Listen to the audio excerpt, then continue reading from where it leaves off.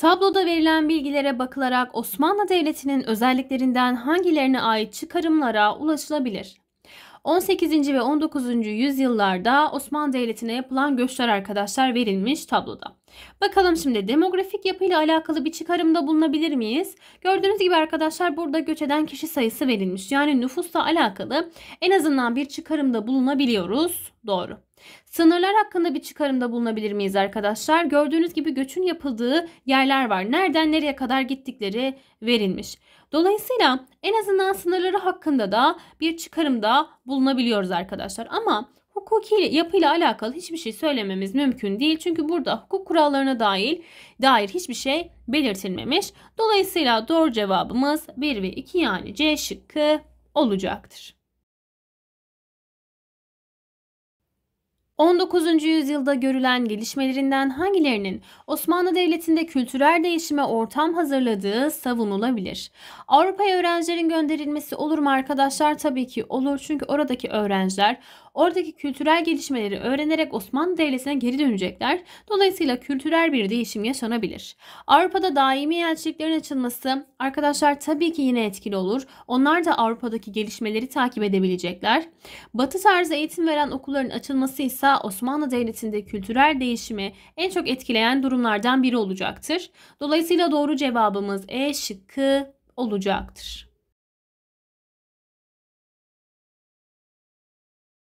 19. yüzyıl Osmanlı toplumunda yaşanan yukarıdaki gelişmelerden hangilerinin toplumsal iletişimi artırıcı nitelikte olduğu söylenebilir.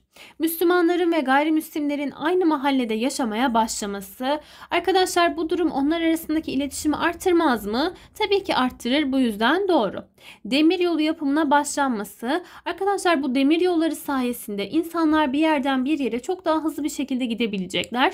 Dolayısıyla bu da iletişimi artıracak bir durumdur.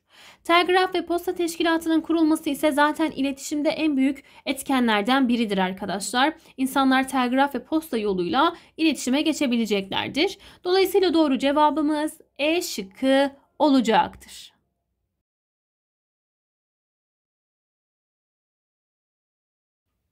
Bu durumun gelişmelerinden hangilerine ortam hazırladığı söylenebilir. Osmanlı Devleti 18. yüzyıldan itibaren savaşların kaybedilmesi nedeniyle elden çıkan topraklardan Anadolu'ya gelen insanlar uygun yerlere yerleştirilmeye çalışıldı.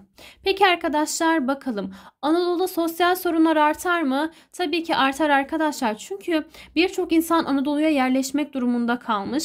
Dolayısıyla burada kavgalar da yaşanabilir. İnsanlar çok kalabalıklaştığı için problemler de yaşanabilir. Tabii ki doğru. Üretim tüketim dengesinin bozulması. Arkadaşlar gördüğünüz gibi burada e, bir nüfusu direkt bir bölgeye yerleştiriyorsunuz ve bu nüfus henüz bir şey üretebilecek noktada değil. Savaşların kaybedilmesi nedeniyle elden çıkan topraklardaki insanlar geliyor. Dolayısıyla üretim tüketim dengesi de bozulmuştur diyebiliriz. Müsaade uygulamasının ise bu durumla bir alakası yoktur arkadaşlar. Müsaade uygulaması mallara el konulması uygulamasıydı. E, yukarıda bahsedilen durumla bir alakası olmayacaktır. Bu sebeplerle doğru cevabımız C şıkkı olacaktır. Bu durum aşağıdakilerden hangisinin bir göstergesidir? Osmanlı Devleti'nde 1858'deki arazi kanunnamesiyle uzun süre devlet topraklarını işleyenlere bu topraklar özel mülkiyet olarak bırakılmıştır. Yani artık bu topraklar e, o toprakları işleyenlerin malı haline gelmiş arkadaşlar. Bakalım şimdi şıklarımıza. Toprakların miras olarak bırakılmaması uygulamasının kaldırıldığının. Arkadaşlar özel mülkiyet olduysa insanlar isterse miras bırakır isterse satabilir.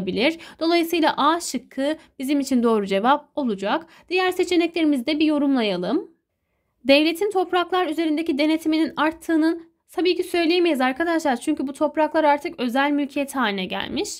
Kırsal kesimler kesimden kentlere doğru göçün özendirildiğinin hayır arkadaşlar e, çünkü aksine kırsal kesimde kalınmasına özendirme söz konusu. Orada eğer ekim biçim yapılırsa toprak ona ait olacak çünkü. Saban giren yer mülk olmaz anlayışının devam ettiğinin değil artık kaldırıldığının göstergesidir. Tımar sisteminin korunduğunun hayır arkadaşlar tımar sisteminde de toprak e, ekilip ekip biçilirdi ama toprak özel mülkiyet haline getirilmezdi. Dolayısıyla doğru cevabımız A şıkkı olacaktır. Yukarıdakilerden hangilerinin Osmanlı Devleti'nin nüfus yapısının değişiminde etkili olduğu söylenebilir? Yeniçeri Ocağı'nın kaldırılması arkadaşlar bu durum nüfusu etkileyecek bir durum değildir. Balkanlarda Panslavizm akımının yayılması. Panslavizm neydi arkadaşlar? Slav ırklarını bir araya getirmekti. O zaman Balkanlarda yaşayan Türkler Osmanlı Devleti içlerine doğru yani Anadolu'ya doğru göç etmezler mi? Tabii ki ederler arkadaşlar. Çünkü orada Slav ırkları üstün gelmeye başlayacak. Hatta Balkanlarda bazı devletler Osmanlı'dan ayrılarak bağımsız olmaya başlayacaklar. Osmanlıcılık düşüncesinin etkinliğinin azalması. Arkadaşlar bu düşüncenin etkinliğinin azalması tabii ki e, Osmanlı içerisindeki gayrimüslimlerin milliyetçilik düşüncesine kapılmasına sebep olacak ve onların da kendi devletlerini kurma düşüncesiyle e, Osmanlı Devleti'nden uzaklaştığını söyleyebiliriz ve dolayısıyla kendi devletlerini kurma arzularında olduklarından dolayı bazıları bu konuda başarılı olup bağımsızlıklarını elde edecekler ve Osmanlı Devleti'nin tabii ki nüfus yapısı yine değişmiş olur. Bu sebeplerle doğru cevabımız D şıkkı olacaktır. Osmanlı Devleti'nde 1864'te çıkarılan matbuat nizamnamesi ile gazete kapama, para ve hapis cezası verme uygulamasının başlamasının anlayışlarından hangilerine aykırı olduğu savunulabilir. Arkadaşlar bu nizamnameye göre e, Osmanlı Devleti İsterse gazeteyi kapatabilir, isterse para veya hapis cezası verebilir. İçerisindeki habere göre bu şekilde uygulamalar yapacak. Peki arkadaşlar bu basın özgürlüğüne aykırı mıdır? Tabii ki aykırıdır çünkü e, ceza alma korkusuyla haber yapmaktan çekinecekler ve özgür bir şekilde fikirlerini söyleyemeyeceklerdir. Düşünce özgürlüğünü de dolayısıyla engeller bu durum. Haberleşme hakkını da engelleyebilir arkadaşlar çünkü gazete kapanabilir. Bu sebeplerle doğru cevabımız E şıkkı olacaktır. Bu durum Osmanlı Devleti'nde alanlarından hangilerinde önemli gelişmeler olduğunu kanıtlar niteliktedir. İkinci Meşrutiyet'in ilanından sonra İttihat ve Terakki yönetimine karşı olanların Volkan gazetesini çıkarması, Tevfik Fikret öncülüğünde Tanin gazetesinin çıkarılması verilmiş bize arkadaşlar. Bu tarz gazeteler tabii ki neyi gösterir arkadaşlar? Tabii ki kültürü gösterir. Yani ekonomik ya da hukuki bir durum söz konusu değildir. Kültürel bir gelişme söz konusudur. Gazeteler çıkarılmış. Dolayısıyla doğru cevabımız yalnız 2 yani B şıkkı olacaktır.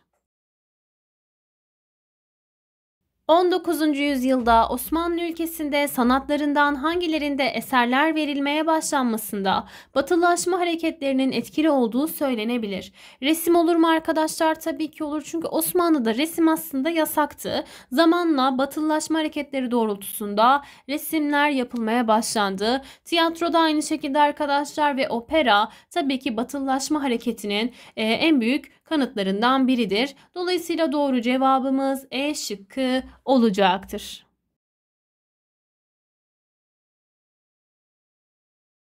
Buna göre aşağıdakilerden hangisinin Osmanlı şehirlerinin değişimler yaşamasında etkili olduğu söylenebilir. 19. yüzyılda Osmanlı şehirlerinde tren ve buharlı gemiler kullanılmaya başlanmış, limanlar, tren garları, bankalar, oteller, işhanları ve postaneler açılmıştır. Arkadaşlar bu durumlar tabii ki teknoloji ve ticaretle alakalı durumlardır. Çünkü teknolojinin gelişmesi sayesinde trenler, buharlı gemiler yapılmış arkadaşlar ve ticaretle tabii ki yine bu gemiler aracılığıyla banka bankalar, işhanları, postaneler aracılığıyla gerçekleştirilebilecektir. Yani dikey hareketlilikte bu durumun bir alakası yoktur. Dışarıdan göçler alınarak bu tarz yenilikler tabii ki yapılamaz arkadaşlar. Sınıf bilinci ya da ağır sanayi ile alakalı bir durum söz konusu değil. E, dolayısıyla burada bahsedilen şey bir takım gelişmeler. Bu da teknoloji ve ticaret alanında olmuş. Dolayısıyla doğru cevabımız B şıkkı olacaktır. Tanzimat döneminden itibaren Osmanlı şehirlerinde hızlı değişim yaşanmasında aşağıdakilerden hangisi etkili olmamıştır? Avrupa ile ticari ilişkilerin gelişmesi tabii ki şehirlerin de değişmesinde etkili olur arkadaşlar. Doğru. Veraset hukukunun belirlenmesi bu tahta geçiş usulüdür arkadaşlar. Bu durumun şehirlerin hızlı bir şekilde değişmesinde etkisi olmayacaktır elbette. Ulaşım teknolojisinin ilerlemesi olur arkadaşlar çünkü tren yolları, buharlı gemiler artık şehirler içerisinde yer alacaktır. Batı tarzı ıslahatların yoğunlaşması tabii ki yine şehirlerde hızlı değişim yaşanmasında etkili olur. Yabancı sermayenin ülkeye girmesi de yine etkili olacak bir durumdur. Dolayısıyla doğru cevabımız B şıkkı olacaktır.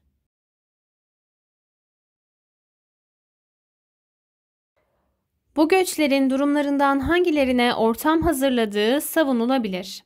19. ve 20. yüzyılda yapılan savaşların sonuçlarına bağlı olarak Kırım, Kafkasya ve Balkanlardan Anadolu'ya göçler yaşanmıştır. Peki arkadaşlar bakalım. Mesken ve işsizlik sorunlarının artması olur mu? Olur. Çünkü arkadaşlar birçok insan Anadolu'ya gelmiş. Dolayısıyla bu durum mesken ve işsizlik sorununu artıracak bir durumdur diyebiliriz. Türkçülük düşüncesinin önem kazanması olur mu? Evet arkadaşlar çünkü oradaki insanlar savaşlardan e, kurtulmak amacıyla aslında Anadolu topraklarına geliyorlar ve kendi milli kimliklerini korumak amacıyla geliyorlar. Bu durum tabii ki Türkçülük düşüncesinin önem kazanmasında etkili olacaktır. Anadolu'nun demografik yapısının değişmesi yani nüfus yapısı değişir mi arkadaşlar? Elbette değişir. Çünkü dediğimiz gibi pek çok insan Kırım'dan, Kafkasya'dan, Balkanlardan Anadolu'ya doğru göç ediyor. Dolayısıyla doğru cevabımız E şıkkı olacaktır.